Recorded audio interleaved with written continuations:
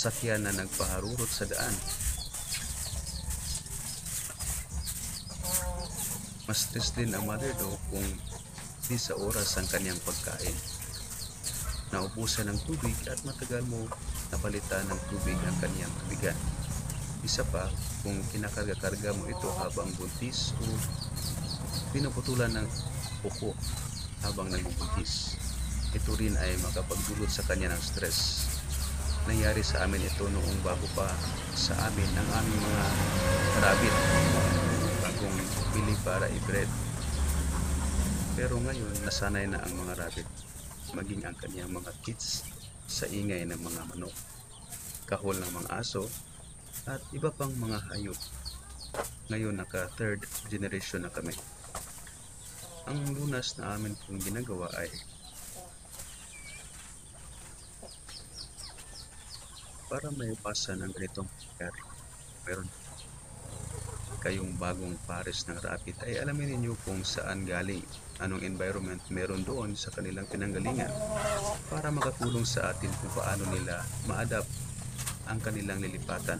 Halimbawa, galing sila sa mga tahimik na lugar at ang inyong lugar ay maingay kasi meron kayong mga maraming hayop sa bahay ninyo.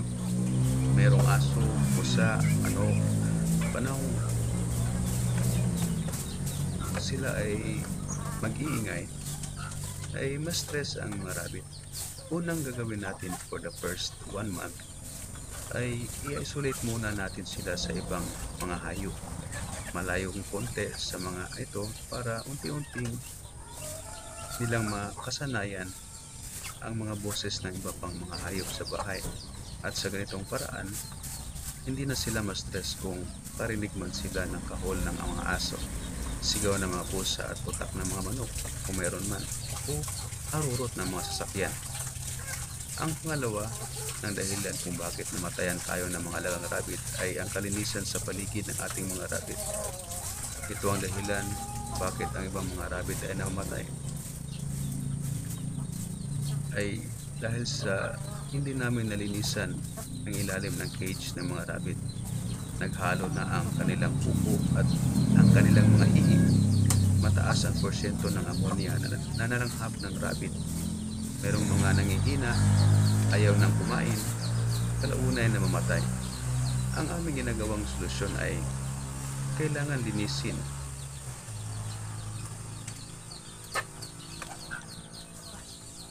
Kailangan linisin twice a week ang ilalim ng ating mga cage at sa paligid nito, maging sa loob ng cage para hindi maghalo-halo ang pag ng mga rabbit at hindi ito mabibigay nga ng masamang amoy sa kanila. Kung meron namang mga alaga,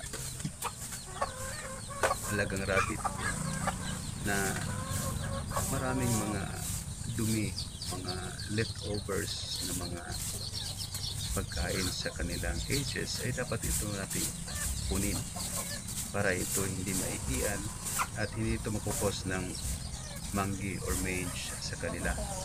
Kung mayroong mga corrugated sheets at gutter sa ilalim ang ating mga cage, ay kailangan mainam linisin din natin kasi kailangan manumano ang paglinis nito. Ang ibabaw ng corrugated sheets ay ilagay sa lagayan na malayo sa mga alaga nating rabbit.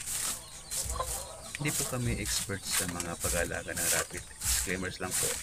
Amin lang pong ibinahagi ang aming mga experience. Kung meron man kayong pulot o katutunan ng mga informasyon sa pag-alaga ng rabbit sa videos na ito, pakisupport po sa aming channel. Pwede kayong mag-like, mag-comment, at mag-subscribe para ma-notify kayo sa mga upcoming na mga videos. Meron kayong mga opinion, questions, pwede nyo ilagay sa comment para makatulong din para makolekta namin ang inyong mga informasyon na makatulong din sa mga pag-aalaga ng ating rabbit. Maging sa pangaraw-araw nating mga gawain sa ating mga rabitan. Hanggang dito na lamang po. Maraming maraming salamat. Ha ha ha ha!